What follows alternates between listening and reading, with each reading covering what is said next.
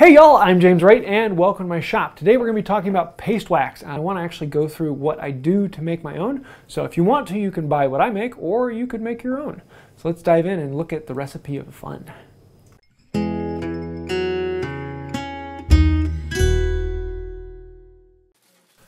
For my wax, I use a raw natural beeswax that I actually get from a local apiary. It's a friend of mine who uh, keeps bees, and uh, she shaves off all of the, uh, the, the ends of the combs and saves them for me. In this batch, we had about 20 pounds of beeswax, and we need to render this down. The problem with raw beeswax is it has a lot of other things in there. It has a honey in there, it has um, bits of bees, and it has junk left over from it. You just don't want that in your finished paste wax. So I'm going to put it in a pot um, and put in with water. So about half water, about half wax, and then heat it up until the wax is completely melted and homogeneous. The water will absorb the sugar out of the, uh, the honey as well as allow everything to then settle. Once it is completely liquid, then I'm going to let it sit overnight and harden up. And you can see, get this puck floating on top of the uh, the honey, and so it's about a 20 pound pluck puck. Actually, I think this one was about 12 pounds, something like that. But you can pour off the water that's underneath and then dump out the puck. Now the puck will be covered in all of this extra junk, and that's what we're trying to get rid of. And so we can scrape off as much as we want, and then it's basically rinse and repeat. And some people will do this three or four times. Um, I actually do it one time to get off the majority of the stuff, and then the rest of it I run through a filter. So for the second set, we're going to fill it up with water again and then put that puck into the tub, heat the thing back up, and melt it down. And uh, once it's melted down, then we can actually put it through some cheesecloth, and that will sieve out everything else. And then we can leave it in the buckets to set and uh, separate again, so you have water on the bottom and a really nice pure puck of um, of wax on top of it. And so I'm going to do this through several buckets, and you can see how this cheesecloth, cheesecloth will get pro progressively dirtier and filled with gunk, and that is what we're removing from it. So I'll usually end up with four or five buckets worth of the wax and water. And then the next day we've got chunks of wax. I'm going to put them in a crock pot and start melting them down. We're going to start with the hard wax, and for that it's two parts wax to one part raw linseed oil. I have a friend who has a cold press and will um, press out the raw linseed oil for me. And it makes it much easier for that. And this is the hard wax. I don't use the boiled linseed oil in this. I want it to stay waxier, uh, oilier longer. And for that, we use the raw linseed oil. I have these trays that I'll pour it into to get the pucks and let that cool and harden. Then we wrap them up in wax and put that in the container with the lid down. It makes it easier to grab the puck inside. Wax. Now for the soft wax. And with the soft wax, we're going to use the same um, beeswax, put that in, two parts beeswax. And this time we're going to use um, boiled linseed oil. This is stuff that I've made myself. So I boil the linseed oil from the raw linseed oil. And I have a video on that if you want to see it as well. And I will melt that down. Once it is all melted down, then I'm going to add in the mineral spirits or white spirits if you're in England. Let that all mix in and then we can pour it into trails. And that is my soft wax. Now, let's talk about my Brazilian wax. Oh, you know I had to get that joke in here. so there's how I make the waxes. Let's actually look at how exactly we use them. First, let's take a look at the soft wax. And for the soft wax, this is what has the thinner in it, and this is what I use to help finish woods. So after I put my finish on here, you can see on my coat my boiled linseed oil, I'm going to get a little bit of wax on, on a steel wool pad that I just keep inside here. And we're going to spread this wax on really nice and thick, rub it around, let it fill in all the pores. And really the reason for the wax is to fill in those pores and level out the surface, get a nice clean shine.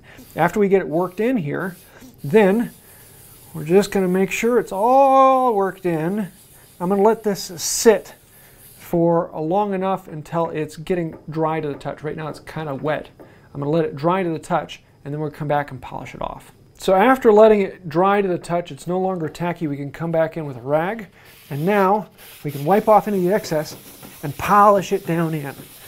And this, all of the thinner has come out of it and we're getting, a, uh, we're getting all of the excess off and we're actually buffing and polishing it down into the surface so that we get a nice shiny glint on it. And this was what will actually polish out all of the finish. And I'll go with the grain, I'll go across the grain, and I'll swirl it down in, and this is what gives you that really nice polished finish. You're not going to get a gloss with it, but you're going to get this beautiful sheen that looks interesting from different angles.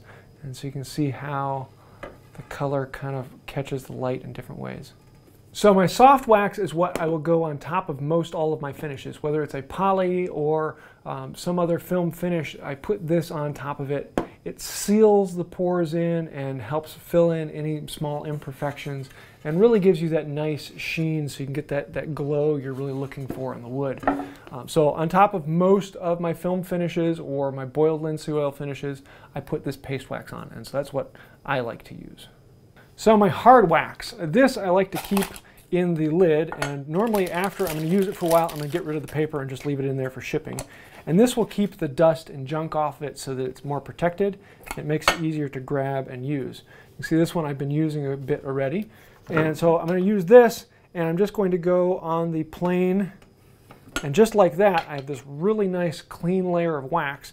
This makes the plane move incredibly smoothly across the wood. If you're working with any dense wood where it's grabbing or catching, it is incredible what this will do.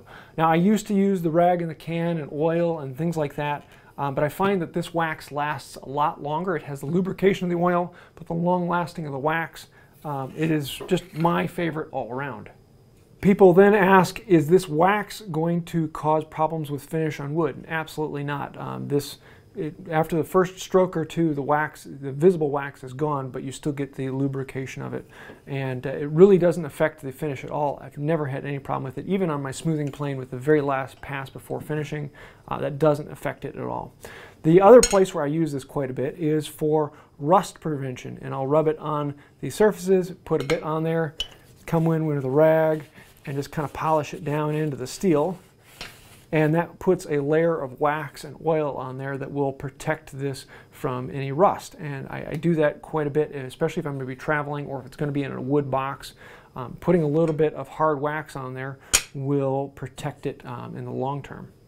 The other place where I use it all the time is waxing saws. If you've ever been working with a saw and it's binding in the cut and it's just getting harder and harder to push, just take a couple strokes of this and wipe it down either side of the plate and it is amazing how fast this suddenly cuts. It just slides through the work. And it makes the saw work far easier. It's less you're pushing into it and more you're letting the saw do the work. So putting a little bit of wax on the saw helps it move faster, as well as rust prevention and protecting the saw from any rust. And that's what I do for most of my plates to keep the rust off of the plate. So this is the block of hard wax that I've been using for almost three years, and you can see how much of it I've used in about three years. So a block this size is going to last quite a while. Um, it's not something you need to do all the time and constantly. It actually goes through it pretty quickly. This one I left out on the bench, um, and you can see how the, the top surface has dried out a good bit. You can still see the oily wax here in the middle. Um, so that's why I now keep these in a can upside down. It keeps the dust off as well as keeps it from drying out too quickly. And I can just leave this on my bench and keep it protected inside the canister. So a good hard wax does amazing things in the shop, not just for lubrication, but also for rust prevention. So there you have it. Now I do have an old video where I made paste wax before. Um, and I've changed what I do a little bit from time to time. Uh, as you learn things and you try new things, you come up with new mixes that you really like. Um, so if you want to see that video, I'll leave a link to that down below. But this is one of the fun things with paste wax is you can make it in whatever mixture you want, whatever recipe you want. You're still going to have something that's very functional. And lots of different people like different recipes and different mixtures. So these are just the two that I use. Now, if you would like to buy these, I have links to them down below. And thank you for supporting the channel and helping out with that. Uh, but I want to encourage you don't feel like you have to buy these. If you want to make your own, experiment, try something new, play around with it. Uh, it may cost a little bit more right off the bat, but uh, you get to find something that fits your style and the way you like it that's incredibly valuable. So I hope you found this video to be of value to you. And I do want to say thank you to everyone who is purchasing things on the website. You are helping keep this going. As well as I want to say thank you to all the patrons on Patreon, members here on the channel. Uh, without everyone supporting the channel, this channel would not exist. So thank you for that. If you'd like to find out more about that, there's links to Patreon and you can click the join button to become a member, as well as there's links to everything that I sell on my website down below. So that'll do it for now. And until next time, have a wonderful day. Wax on, wax off. Ooh, new channel, Karate by Wright.